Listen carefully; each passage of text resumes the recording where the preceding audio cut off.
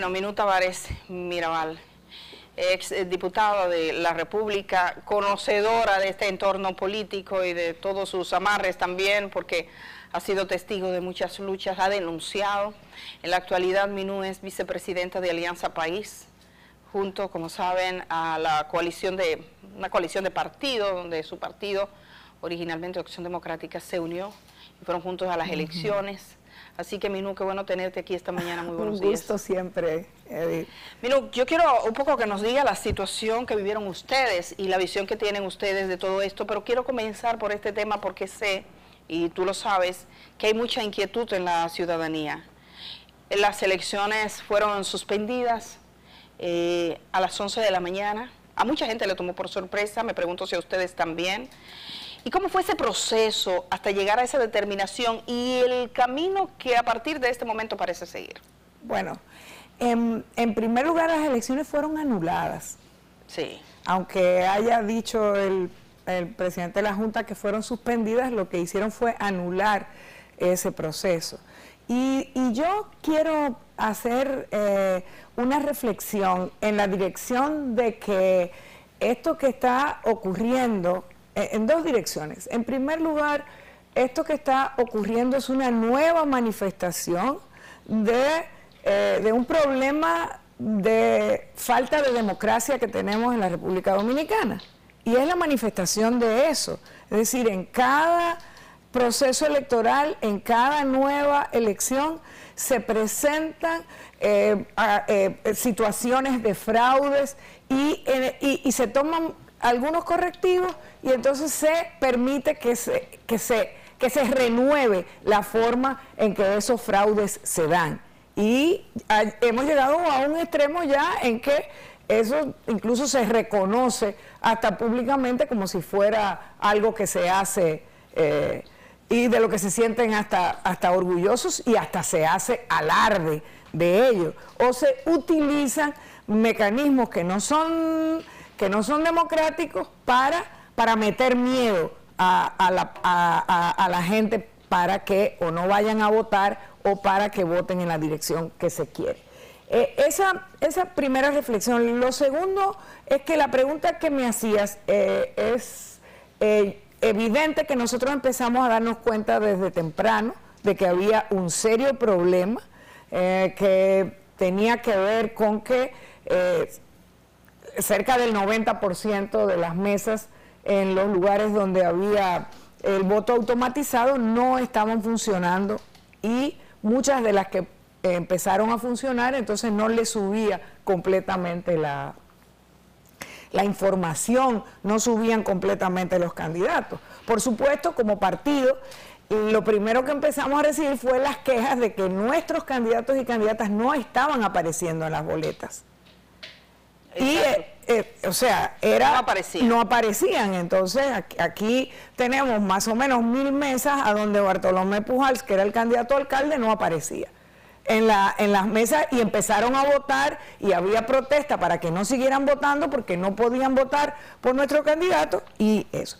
Entonces, eh, nosotros empezamos a ver esa situación, estuvimos eh, cuando se vio que era imposible continuar con el proceso eh, y empezaron a plantear que se suspendiera parcialmente, entendimos que no era posible suspender parcialmente unas elecciones como esas porque eso tiene también un peligro que solo beneficiaba a quienes desde nuestro punto de vista querían perjudicar precisamente el proceso. ¿Quiénes creen, consideraron bueno, querían solamente supuestamente, y no sabemos qué pasó, eh, pero en el inicio aquí de las votaciones no hay problemas por lo general.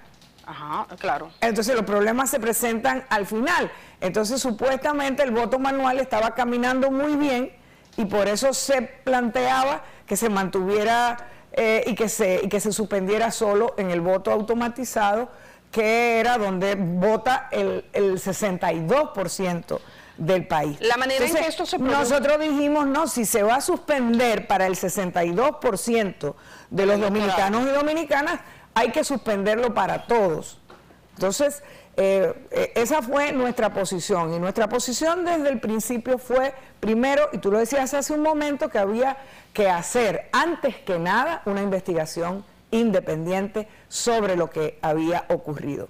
En segundo lugar, es, no hay que decirlo, es un fracaso absoluto. ¿Y de quién es ese fracaso absoluto? De la Junta Central Electoral, que es el órgano responsable de organizar ese proceso.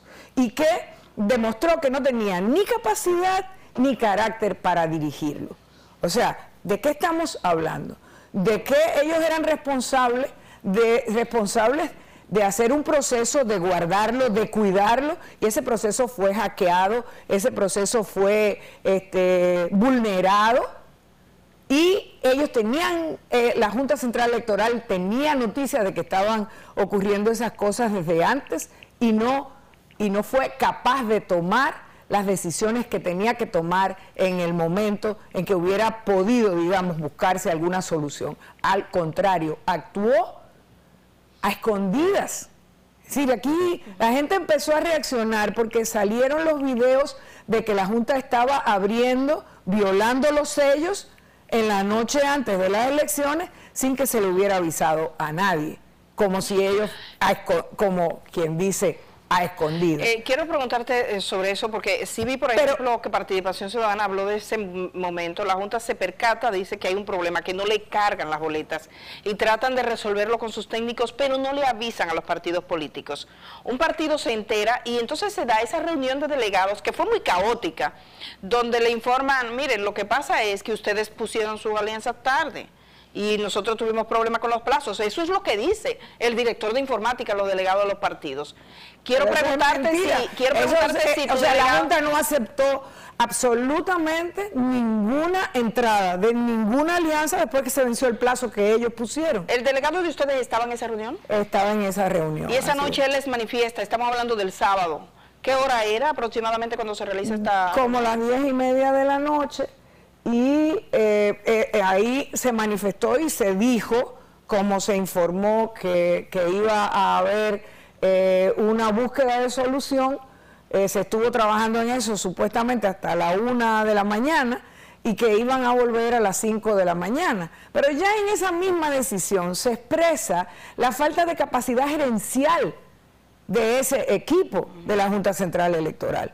O sea, es posible que consigan a nueve mil presidentes de mesas electorales y sus eh, demás integrantes a la una de la mañana para decirle que vayan una hora antes de la hora en que habían sido convocados. O sea, son, eso fue eso fue el sábado en la noche. O sea, y, dijeron que lo iban a resolver y además eh, hay otro tema que está ahí que, eh, que también muchas de las reacciones se produjeron porque los observadores electorales, los observadores internacionales también presionaron para que se buscara una, solución al problema. Pero yo quisiera, más que nada, enfocarme en el día después y en los días por venir. Queremos hacer entonces, vamos a hacer algo. Vamos a hacer una pausa y vamos a regresar con lo que pasó después. Tomando en cuenta incluso si crees que hubo que, que existe la posibilidad o si nos están diciendo que hubo humanos criminales que intervinieron dentro de los equipos para que ocurriera lo que finalmente ocurrió. Eh, quiero hablar con eso y sobre todo también del voto electrónico, que parece ser ha quedado descartado en este país. Cuando regrese también les tengo la respuesta de eh, Claro, eh, la empresa telefónica de comunicaciones Claro ha respondido las preguntas de la cosa como es sobre su técnico investigado por la Policía Nacional. Le hemos formulado varias preguntas sobre este hombre, quién es, qué hace, desde cuándo estaba, qué se dedica, cuál es su vínculo con los organismos de seguridad, representa a la compañía en eso, todo eso se lo preguntamos. Ah, claro, nos ha respondido. Le leo lo que me dicen por escrito hace un momento, después de la pausa.